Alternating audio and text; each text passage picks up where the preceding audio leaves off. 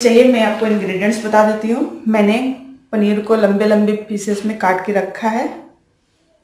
मैंने इसके लिए मुझे चार, पाँच रेड चिली चाहिए थी। चार, पाँच लहसुन चाहिए था। नमक है ब्लैक पेपर है। मैंने लहसुन और लाल मिर्च और लहसुन को, का पेस्ट बना करके रख लिया है। मुझे चाहिए मैदा। कॉर्नफ्लोर। तो चलिए स्टार्ट करते हैं। इसको मैरिनेट करना। मैं एक प्लेट लेती हूँ, जिसमें मैं ये तो इसको मैं एक प्लेट में निकालती हूँ।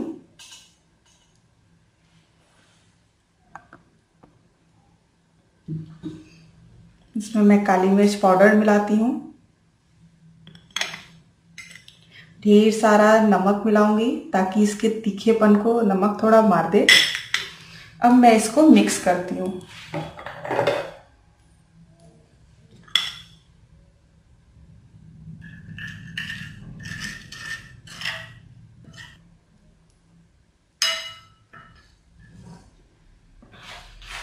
हम एक और प्लेट लेते हैं, जिसमें मैंने एक चम्मच मैदे लिया है। उसमें हम एक चम्मच कॉर्नफ्लोर मिलाते हैं। इसमें हम थोड़ा सा सॉल्ट मिलाएँगे और उसको मिक्स कर देंगे।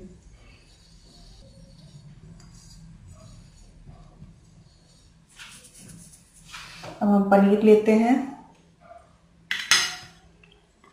पनीर को इसमें रोल करते हैं।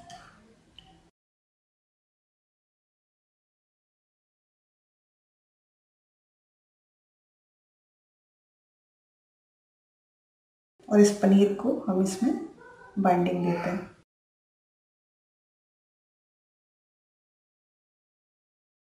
दोस्तों, अगर आप इसमें मैदा नहीं लेना चाहते हैं तो इसकी जगह बेसन भी ले सकते हैं। वो आपके ऊपर है कि आपको क्या चूज़ करना है। तो आप देख रहे हैं, हम, हमने इसकी कोटिंग कर ली है। हमने गैस को जला लिया है। हमारा तेल मीडियम हॉट हो चुका है। अब हम इसे फ्राई करने के लिए तेल में डालेंगे। दोस्तों, इसे हमें लो फ्लेम पे फ्राई करना है। दो से तीन मिनट, ताकि ये अच्छे से गोल्डन फ्राई हो जाए। बहुत ही ज़्यादा हाई फ्लेम नहीं रखना है, ताकि ये अंदर तक ऑब्जॉर्व कर ले।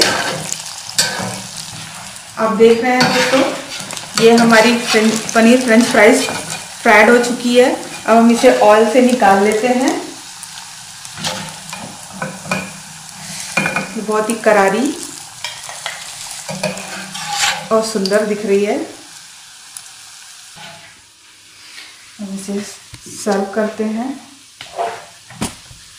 ये लीजिए फ्रेंड्स हमारी पनीर फ्रेंच फ्राइज रेडी है।